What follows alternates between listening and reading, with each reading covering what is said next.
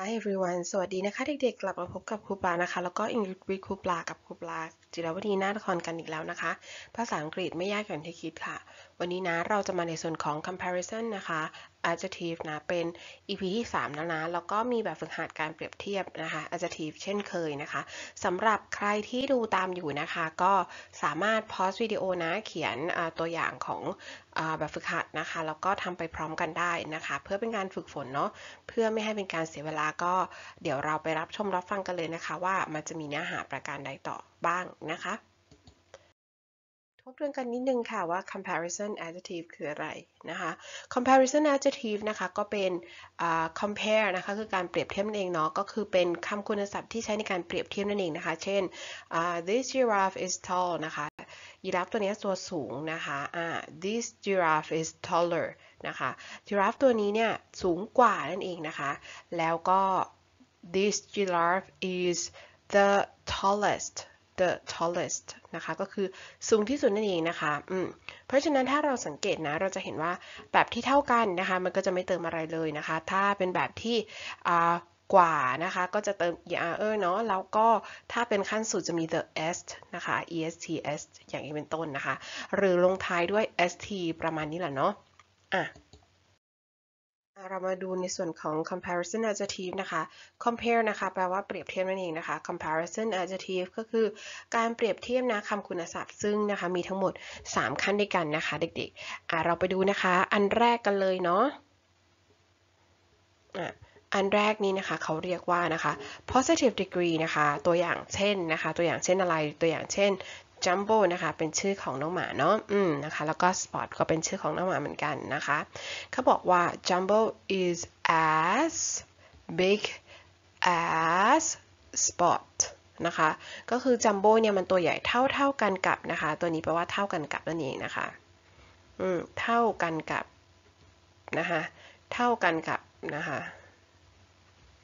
อืม ต่อไปนะคะ อืมข้อต่อไปนะคะ ข้อที่2นะคะ comparative degree นะคะ ก็คือเป็นการเปรียบเทียบแล้วนะคะ เช่นพิมพ์กับแพมในรูปนะคะ เขาบอกว่าพิม is tall นะคะ พิมก็สูงอยู่นะคะ but Pam is taller นะคะ ก็คือแพมเนี่ยสูงกว่านั่นเองนะคะ สังเกตว่ามันจะมี er นะคะ คือซึ่งแปลว่ากว่านั่นเองนะคะอืม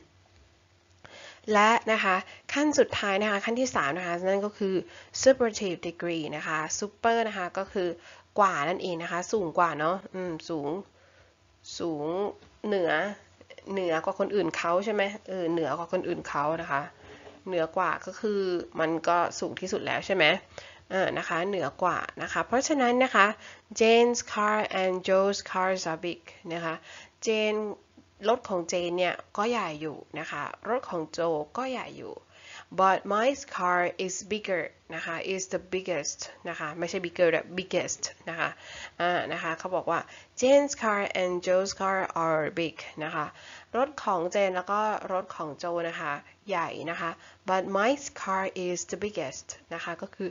รถของไม้เนี่ย ใหญ่ที่สุดนั่นเองนะคะเดิม the est เข้าไปนะคะ the บวก est นะคะ the est นั่นเองนะคะ แปลว่าที่สุดนั่นเองเนาะแต่สังเกตดีๆนะคะว่า ถ้าเป็นขั้นสุดแล้วเนี่ย s แล้วเนี่ย ก็จะมี the อยู่ข้างหน้าเสมอเลยนะจ๊ะ ข้อต่อไปค่ะ การเปรียบเทียบนะคะ ซึ่งที่บอกไปแล้วนะคะว่า แบ่งได้นะ ก็อย่างที่บอกไปว่ามีขั้นธรรมดาขั้นกว่าแล้วก็ขั้นสุดเนาะขั้นปกติหรือขั้นธรรมดาเนี่ย positive degree นะคะ หมายถึงการเปรียบเทียบเพื่อบอกความเท่าเทียมกันนะคะ ก็ as as เมื่อเมื่อกี้ที่บอกไปแล้วเนาะต่อไปนะคะขั้นกว่านะคะ เปรียบของสองสิ่งค่ะ ว่ามีมากมีน้อยเหมือนกันอย่างไรนะคะ ซึ่งตัวเนี้ยนอกจากจะเป็นเออแล้วนะเขาก็จะมีแดนด้วยนะคะเออแดนนะนี่ทบทวนนะอ่าส่วนอันสุดท้ายนะคะ superlative ค่ะ superlative เนี่ยนะคะก็คือการเปรียบเทียบขั้นสุดนั่นเองนะคะ มีกี่อย่างไม่รู้ค่ะ แต่ว่าอันนี้คือที่สุดนั่นเองนะคะ ก็จะมี the est นะคะ ก็คือที่บอกไปแล้วนะคะ the แล้วก็ตามด้วย est นะคะอืมประมาณนี้นะ ก็เป็นขั้นธรรมดาหรือขั้นปกตินะคะ ขั้นกว่านะคะ แล้วก็ขั้นสุดนั่นเองนะคะอืมโอเคก็จะมี positive นะคะ มี comparative นะคะ แล้วก็ superlative นะคะสามข้อนะคะ ทีนี้เวลาเราเปลี่ยนนะคะมีกฎทั้งหมด 6 กฎด้วยกันนะคะคำคุณศัพท์เนี่ยนะคะ ถ้าเป็นพยางค์เดียวนะคะ สั้นๆเนี่ยนะคะ เติม er er เข้าไปนะคะ ซึ่งอะเมื่อเวลาเปลี่ยนนะคะอะเราไปดูนะคะ ถ้ามันเป็นห่างเสียงเด็กๆ สังเกตแค่นี้ค่ะ พยางค์เดียวก็จริงนะคะ แต่ว่าตัวท้ายมันเป็น 2 อันแบบเนี้ย ส่วนใหญ่แล้วเติม er er อย่างเดียวค่ะ โอเคนะ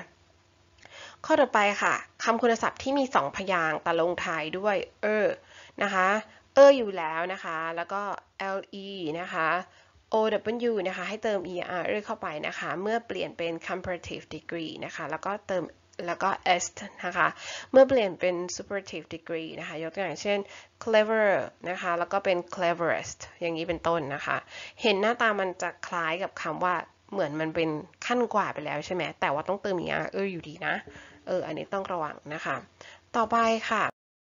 ข้อที่3นะคะคำคุณศัพท์ที่มี 2 พยางค์นะคะ แต่ว่าตัวสุดท้ายเนี่ยมันเป็น y เนาะเราก็ต้องเปลี่ยนนะคะ ตัว y นะให้เป็น i ก่อนนะคะ แล้วก็ให้เติม er เออเข้าไปนะคะ เมื่อเป็น comparative degree นะคะแล้วก็เมื่อเป็นขั้นสุดเนี่ย superlative degree เขาก็จะใส่ est เข้าไปนั่นเองนะคะ ก็คือเปลี่ยน y เป็น i เคยพูดไปแล้วนะคะว่า y เนี่ยมันมีลักษณะของ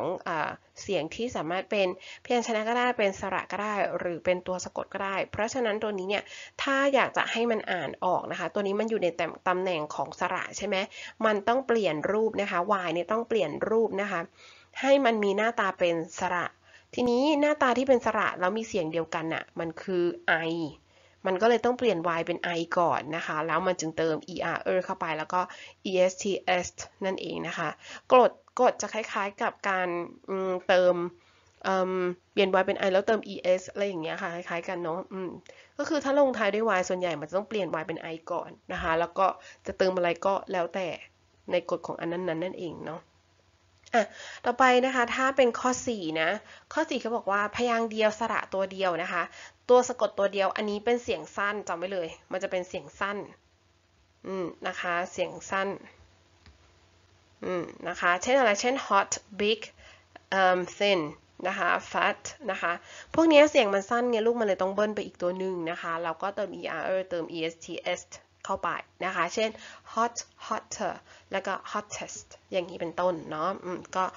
คือเสียงมันสั้นก็ไปเบิ้ลเสียง นั่นเองนะคะ ถ้ามันยาวมี 2 ตัวอยู่แล้วก็ไม่ต้องใส่เนาะประมาณนี้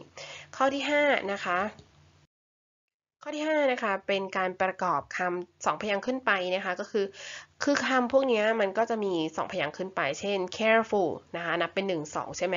อะ นับอย่างนี้นะคะ care 1 full 2 อันนี้ 1 อันนี้ 2 นะคะ then 1 jer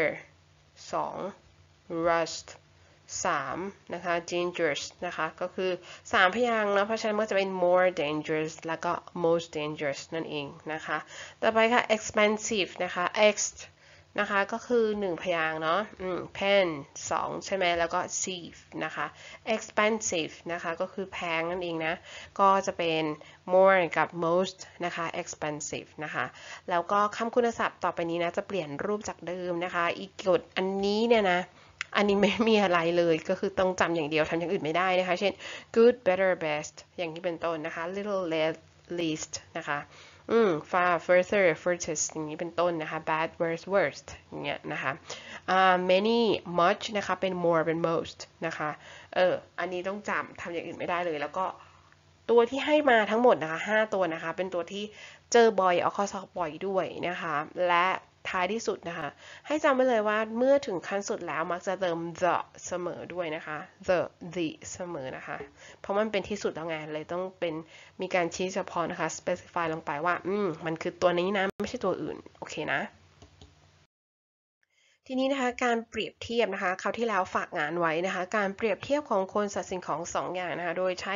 คำคุณศัพท์ขั้นกว่านั่นเองนะคะก็คือคำนามบวก verb to be นะคะแล้วก็คำคุณศัพท์พยางค์เดียวเติม er แล้วก็ than นะคะหน้าคำนามแล้วก็บวกคำนามนั่นเองนะคะอืมเช่นอะไรเช่นเขาบอกว่า she is younger than I นะคะ she is younger than I นะคะโครงสร้างมันก็คือนะคะถ้าเป็นคำนามนะ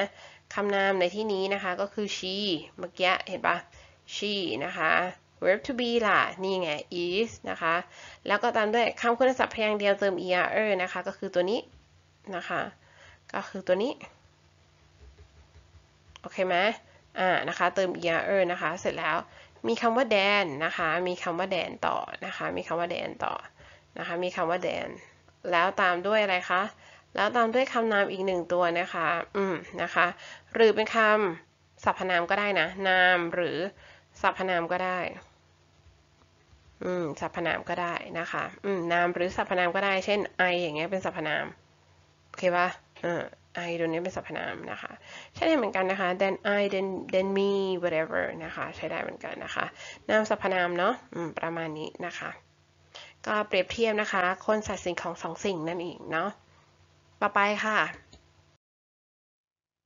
สองนะคะคำนามบวก verb to be นะคะตามด้วย more ตามด้วยคำคุณศัพท์สองหรือสามพยางค์นะคะ ตามด้วย that แล้วก็ตามด้วยคำนามเนาะะเรามาดูโครงสร้างกันนะคะ เอาข้อง่ายๆนะให้ไปดูข้อนี้นะคะเขาบอกว่าอะไรเขาบอกว่าคำนามใช่ไหมคำนามก็คือตัวนี้ค่ะ chocolate cake นะคะ chocolate cake เป็นคำนามเนาะอ่านะคะต่อไปค่ะ is นะคะ is คือ verb to be นั่นเองนะคะ is คือ verb to be นั่นเองนะคะ แล้วก็มีคำว่า more นะคะมากกว่านั่นเองนะคะ แล้วก็ delicious นะคะ delicious นะคะ delicious นะคะ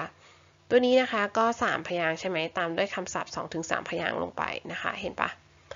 มันก็คือตัวนี้แหละนะคะ นับแล้วถูกต้องไหมเมื่อกี้นี้เรานับกันแล้วนะคะ มีประมาณ 3 พยางนะคะ เพราะฉะนั้นนะคะ แล้วก็ตามด้วยคำว่า then นะคะ ตามด้วยคำว่า then นะคะ ตามด้วยคำว่า then แล้วตามด้วยคำนามนะคะ อีกทีหนึ่งนะคะ คำนามอีกทีหนึ่งเห็นปะโครงสร้างมันก็จะประมาณนี้แหละนะคะ อืม นะคะ ก็ ก็อย่างที่บอกไปนะคะ สามารถนะคะ เป็นคำที่เป็นสรรพนามได้บ้างนะคะ เช่น I เช่นมีอะไรเงี้ย เป็นต้นก็ใช้ได้เหมือนกันนะคะ แต่ว่าก็ต้องระวังนิดนึงนะ จริง ๆ แล้วอะนอกจากคำนามแล้วอะคำที่ตามหลังตรงนี้นะคะ มันก็ใช้กันเป็นคำสรรพนามได้เช่นกันเนาะ อะ ประมาณนี้นะ ทีนี้เราไปดูนะคะ ตัวอย่างนะ เออ ให้กันบ้านไว้ใช่ไหมเขาบอกว่า directions นะคะ ก็คือคำชี้แจงนะเขาบอกว่า complete the sentences with the comparative adjectives นะคะ ก็คือให้เราเนี่ยนะคะ ทำการเติมนะทำประโยคให้สมบูรณ์นั่นเองนะคะ with comparative adjective นะคะ ก็คือให้เราเติมนะคะคำคุณศัพท์นะคะที่มีการเปรียบเทียบนั่นเองนะคะ ก็เป็นขั้นกว่านั่นเองเนาะลงไปนะคะอืมอ่าเรามาดูนะคะก็ไปดูนะคะว่าในวงเล็บแล้วมีคำว่าอะไรอยู่เนี่ยข้อนี้มีคำว่า short อยู่นะคะ I am นะคะอืมอ่าตัวนี้ใช้กดอะไรคะ มี 2 ตัวอย่างนี้นะคะ ก็เติม er ได้เลยนะคะ เพราะฉะนั้นตัวนี้เป็น shorter shorter นะคะ shorter ต่อไปค่ะ this อะ ลืมแปลนะคะ I am shorter than my friends นะคะ ก็คือฉันเนี่ยนะคะ ตัวเตี้ยกว่านะคะ เพื่อนของฉันนั่นเองนะคะ ข้อที่สองเขาบอกว่า this sweater is นะคะอืม old นะคะ แปลว่าแก่นั่นเองนะคะ old นะคะ แปลว่าแก่นะคะ อืมนะคะ เติม er ได้เลยนะคะ older นะคะ ก็คือแก่กว่านั่นเองนะคะ ตัวนี้เนี่ยมันลงท้ายมันเป็น 2 ตัวเนาะอืม older นะคะ 2 ตัวเนาะก็เติม er ได้เลยนะคะ ต่อไปค่ะ คือเขาจะบอกว่า sweater นะคะก็คือเสื้อกันหนาว เสื้อกันหนาว อืมถามว่ารู้ได้ไงว่ามันแปลว่าเสื้อกันหนาวนะคะ เพราะว่ามันมาจากคำว่า sweat ที่แปลว่าเหงื่อค่ะ เหงื่อ อืม er เออแปลว่าผู้ใช่ไหมนอกจากแปลว่ากว่าแล้วเนี่ยแปลว่าผู้ได้ด้วย ผู้ที่ทำให้เหงื่อออกนั่นเองนะคะ ก็คืออะไรนะ เสื้อกันหนาวนั่นเองนะคะ ต่อไปค่ะ ข้อที่3ก็บอกว่า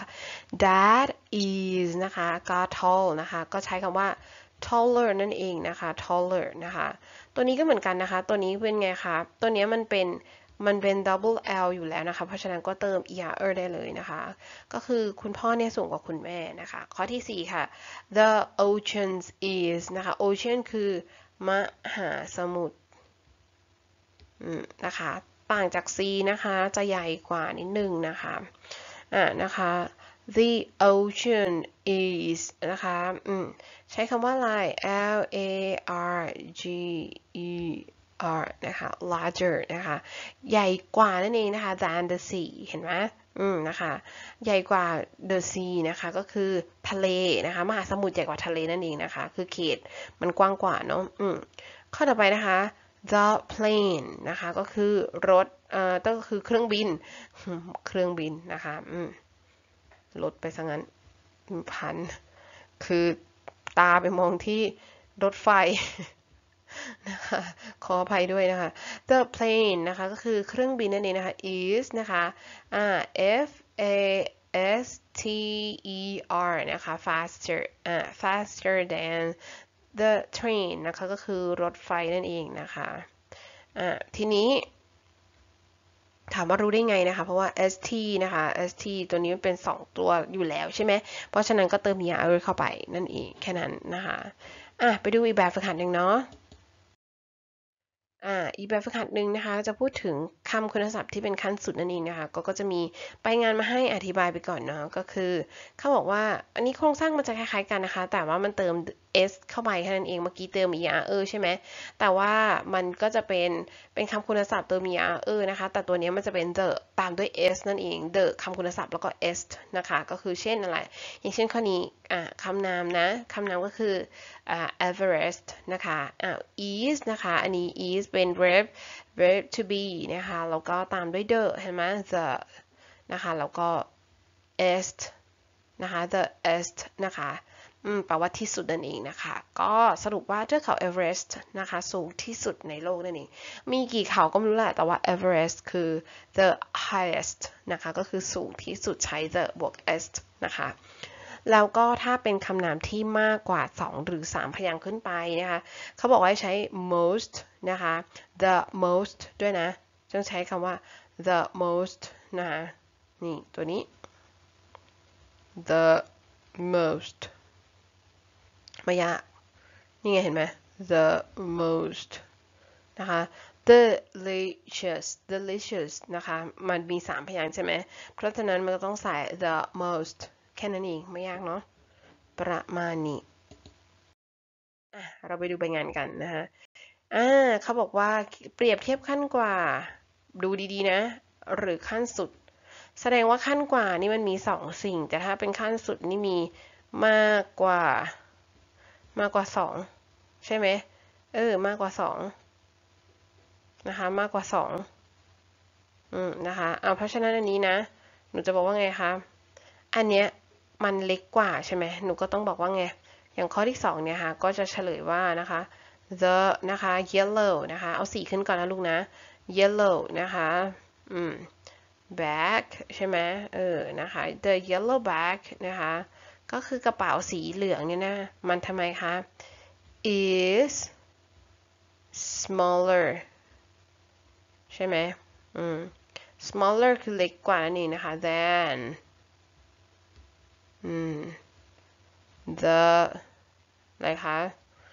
orange bags เห็นปะใส่สีเข้าไปก่อน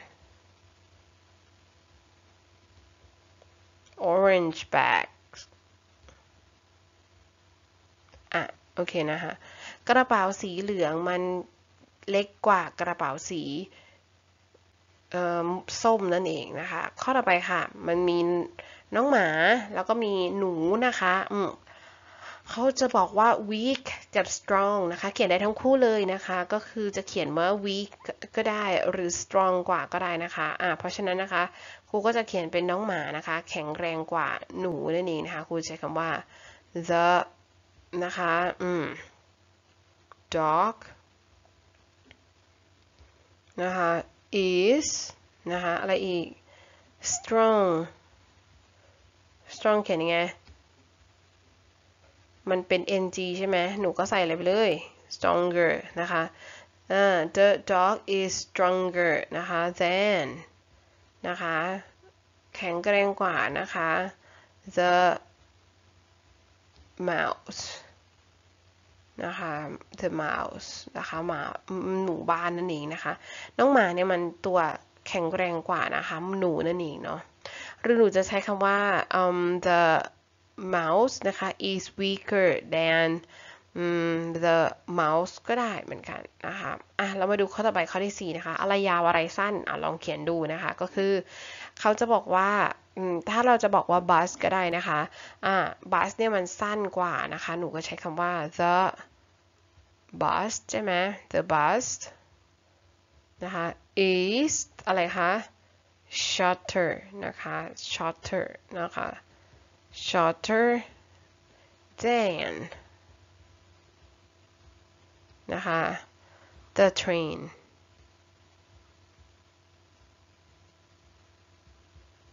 นะคะ ก็จะบอกว่า the bus is shorter than the train นะคะ ข้อที่ 5 นะคะ ข้อที่ 5 นะคะ อะ อันนี้ก็บอกว่าอะไรคะ มี monkey ใช่ไหมอะ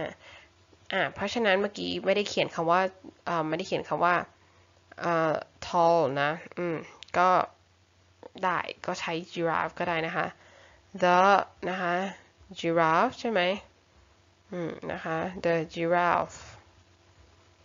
อืม giraffe มันทำไมคะ is นะคะทำไมคะ taller ใช่ไหมถูก สูงกว่าใช่ไหม T A L L นะคะ แล้วเติม E R R เข้าไปเลยนะคะ the giraffe is taller than นะคะ than อะไรคะ the monkey the monkey โอเค that's it แค่นี้เองนะคะ แต่ว่าถ้าใครเขียนประมาณอย่างอื่นมาก็สามารถใช้ได้เหมือนกันนะคะ เช่นอะไรนะ ลิง ตัวสั้นกว่านั่นเองนะ ก็ใช้ได้เหมือนกันนะะไปค่ะอะ วันนี้นะคะก็เป็น exercise นะ ขั้นธรรมดาขั้นกว่าขั้นสุดนั่นเองนะคะ ก็อยากให้เขียนขั้นที่สุดนะ ขั้นสุดของอันนี้คืออะไรเนาะขั้นสุดของอันนี้คืออะไร เราไปดูกันนะคะ เขาบอกว่า compare these นะคะ ให้ดูจากอันนี้นะคะ แล้วเขียนประโยคเปรียบเทียบขั้นสุด เมื่อกี้เราเรียนเรื่องขั้นสุดไปแล้วใช่ไหมอ่า เพราะฉะนั้นนะเดี๋ยวเราไปดูกันนะคะ ตัวอย่างนะคะ อย่างเช่นคำว่าเร็วใช่ไหม เพราะฉะนั้นอะไรเร็วที่สุดนะคะ หนูก็ต้องไปเลือกอันที่มันเร็วที่สุดนะคะ คือชีตานั่นเองนะคะ หนูก็ต้องเขียนว่าไงคะชีตาใช่ไหมชีตาทำไมคะ ชีตาแล้วตามด้วย verb to be ใช่ไหม is ใช่ไหมแล้วตามด้วย the นะคะ the แล้วตามด้วยอะไรเลย เร็วที่สุดนะคะคำคุณศัพท์เติม s นั่นเองนะคะทำคุณศัพท์เติม s นั่นเองนะคะ ก็คือ fast อะไรคะ test นะคะ โอเค หนูก็ตอบแค่นี้เองนะคะ cheetah is the fastest นะคะก็คือชีต้าเนี่ยมันเป็นสิ่งมีชีวิตที่เร็วที่สุดในนี้เลยในรูปเลยอะไรอย่างเงี้ยนะคะ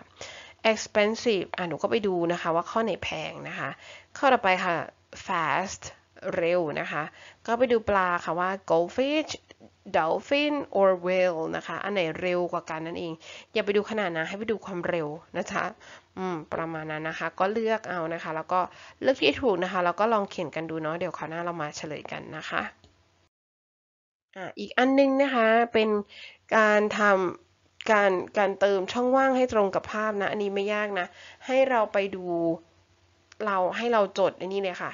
จดคำแปลจากข้างบนนะคะ จดคำแปลเปิด dictionary ได้นะคะ เช่นข้อที่หนึ่งเนี่ย do you อ่า do your homework นะคะ do your homework ก็คือการบ้านใช่ไหมอืม การบ้านนะคะ ก็คืออะไรนั่นเอง แปลว่าทำการบ้านใช่ไหม your homework ก็คือของคุณ อืม นะคะ เพราะฉะนั้นนะคะ ก็จะข้อนี้ก็จะแปลว่าทำการบ้านของคุณ อ่ารูปไหนดี นะคะ หนูก็ใส่ลงไป โอเคนะ อืม แต่ถ้ามันมี don't don't ตัวนี้มันเป็นปฏิเสธ ก็จะเป็นรูปที่เป็นกากบาท โอเคไหม got it นะคะคำไหนที่ไม่รู้นะคะ แนะนำให้เปิด dictionary นะคะ แล้วก็เขียนลงไปเลยนะคะ เดี๋ยวคราวหน้าเราจะมาเฉลยกันเนาะ อันนี้เป็นอีกข้อหนึ่งนะคะ บอกว่า match and write นะคะ ให้นักเรียนจับคู่ประโยคให้ถูกต้องนะคะแล้วก็เขียนประโยคที่ได้ในช่องว่างดังต่อไปนี้นะคะ ก็จะเป็น turn on turn off นะคะใช้กับอะไรนะคะ นี่แปลได้หมดเลยนะคะ turn on turn off นะคะ ใช้ได้หมดเลยนะคะ อะ ไปลองทำดูนะคะ โยงนะ แล้วก็ คำไหนไม่รู้นะคะ แนะนำให้เปิด dictionary เลยแล้วก็เขียนลงนะใส่ในตัวกระดาษคำถามมาเลยนะ กระดาษคำกระดาษคำตอบที่ครูปริ้นให้นะคะ เป็นใบงานนะคะปริ้นมาให้เลยนะคะ เขียนไว้เลยนะคะ เขียนไว้ข้างบนเลยนะคะ เช่น turn off แปลว่าปิดเนี่ยหนูก็เขียน turn off แปลว่าปิดโอเคนะคะ อืม แล้วก็หลังจากนั้นพอมันจับคู่กันเสร็จอะยกตัวอย่างเช่นนะคะ ข้อที่หนึ่งเขาบอกว่า turn off นะคะ the light นะคะ before you go out นะคะ สมมุติเราโยงปุ๊บเสร็จแล้วปุ๊บ ให้เราเอาสองอันที่จับคู่กันแล้วเนี่ยนะคะ ก็คือข้อที่หนึ่งตรงเนี้ยกับข้อที่หนึ่งตรงเนี้ยมารวมกันเป็นเสร็จแล้วเนี่ยเขาก็เอาอันนี้มาบวกกันนะคะ บวกกันเสร็จมันไปไหน นี่ไง มันเอามาใส่ในนี้ โอเคนะ ก็มาเรียงประโยคใหม่เป็น turn off the lights before going out นะคะ ก็คือให้ปิดไฟก่อนออกจากห้องนั่นเองนะคะะข้อต่อไป don't อะไรก็ว่าไปนะคะ เช่นอะไร เช่น uh, don't pick flower in the park นะคะ เราจะไม่เด็ดดอกไม้นะคะในสวนสาธารณะนั่นเองนะคะเนี่ยก็ประมาณนี้นะ แล้วเราก็มาเขียนในนี้ว่าอะไรคะ don't pick flowers in the park นะคะ ก็คือเอาข้อนี้นะคะ ข้อที่ 2 นี้มาต่อกับข้อที่ 2 ตรงนี้นะคะอืมแล้วก็เขียนเป็นประโยคให้สวยงามจนถึงประโยคที่ 7 เลยนะคะ แล้วเดี๋ยวเรามาดูกันนะว่าทำถูกไหมนะสามารถเปิด dictionary ได้นะคะ แล้วก็จดลงไปเลยนะคะคำศัพท์ที่เราไม่รู้เขียนข้างบนเลยจ้า Thanks for watching ขอบคุณสำหรับการ การรับชมแล้วก็รับฟังนะคะ If you like this video please subscribe like and share ถ้าชอบวิดีโอนี้ก็อย่าลืมกดไลค์กด subscribe กดแชร์เพื่อเป็นกำลังใจให้กันด้วยนะคะ อย่าลืมนะภาษาอังกฤษไม่ยากอย่างที่คิดค่ะ ถ้าเราฝึกฝนแล้วก็ทดสอบนะทำบ่อยๆนะคะ เดี๋ยวเราก็จะได้เองนะสำหรับวันนี้นะครูปาแล้วก็ English with ครูปลาก็ขอลาไปก่อนนะ พบกันใหม่ในโอกาสหน้า บ๊ายบาย